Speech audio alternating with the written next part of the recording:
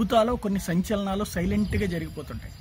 ఆ తర్వాత వెనక్కి తిరిగి చూసుకున్నప్పుడు కూడా ఏమీ అర్థం కాదు. కానీ ఎవరో ఒకళ్ళు చెప్పినప్పుడు మాత్రమే అర్థమవుతుంది. అందుకు సజీవమైనటువంటి సాక్ష్యం రీసెంట్గా మనం చూస్తున్నాం నార్త్ సౌత్ లాంటి కాన్సెప్టులతో పెద్ద ఎత్తున చర్చకి రావడం. అది కమల్ హాసన్ లాంటి వాళ్ళు మాట్లాడినటువంటి అంశాలు కావచ్చు ఆ తర్వాత చంద్రబాబు కూడా అదే అంశాన్ని ప్రస్తావించడం పవన్ కళ్యాణ్ కూడా అదే అంశం ప్రస్తావించడం.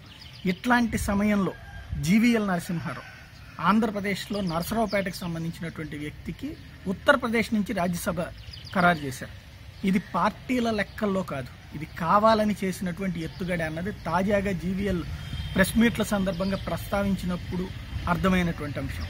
నార్త్ సౌత్ అని మాట్లాడుతున్నారు. ఒక సౌతోడికి నార్త్లో రాజ్యసభ సీట్ ఇచ్చారు. ఇది దేశవ్యాప్తంగా ఉండేటువంటి పార్టీలు తప్పించి ఇక్కడ సౌత్ నార్త్ లాంటి విభేదాలు విభజనలు మాకు లేవు అని చెప్పడం భారతీయ జనతా పార్టీ ఉద్దేశం. అందుకనినే సౌత్ ఇండియాకి సంబంధించినటువంటి అది కూడా కోస్తా జిల్లాలకు సంబంధించినటువంటి కాపు సామాజిక వర్గానికి సంబంధించినటువంటి జీవీఎల్ నరసింహారావు ఈ రోజున రాజ్యసభ సభ్యత్వం ఉత్తరప్రదేశ్ నుంచి పొందారు.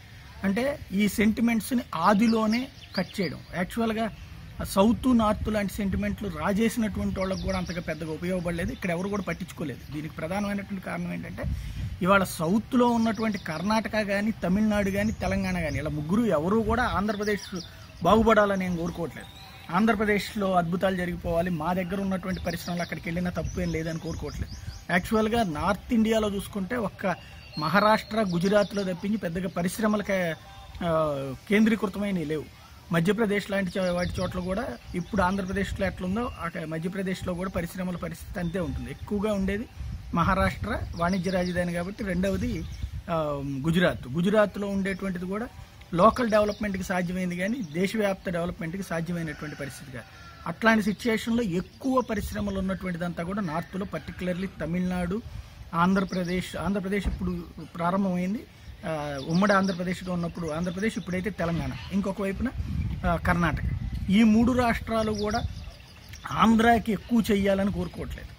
కేవలం నేతల మాటలు తప్పించి చేతల్లోకి వచ్చేటప్పటికి ఆంధ్రప్రదేశ్ అభివృద్ధి చెందకూడదనే కోరుకుంటారు. ఎందుకంటే అత్యంత సహజ వనరులు ఉన్నటువంటి రాష్ట్రం అన్ని రవాణా సదుపాయాలతో పాటుగా మేధావులు ఎక్కువగా ఉన్నటువంటి రాష్ట్రం ఎక్కువ మంది విద్యావంతులు ఉన్నటువంటి రాష్ట్రం.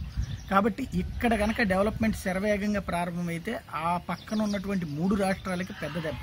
కాబట్టి పైకి మాటలు ఎన్ని చెప్పినా ఇక్కడకు వచ్చి వీళ్ళ ముగ్గురు కలిసేటువంటి పరిస్థితి లేదు వీళ్ళ ముగ్గురు కూడా మాటలకే పరిమితం అయ్యేటువంటి పరిస్థితి. ఈ నేపథ్యంలోనే నార్త్ సౌత్ లాంటి ఫీలింగ్ ఇంకా ఒకటో అరో ఉంటే దాన్ని కూడా దెబ్బ కొట్టడం కోసమే భారతీయ జనతా పార్టీ ఈ ఎత్తుగడ వేసిందనడానికి సజీవమైనటువంటి సాక్ష్యం తాజాగా జీవీఎల్ ఇచ్చినటువంటి స్టేట్మెంట్.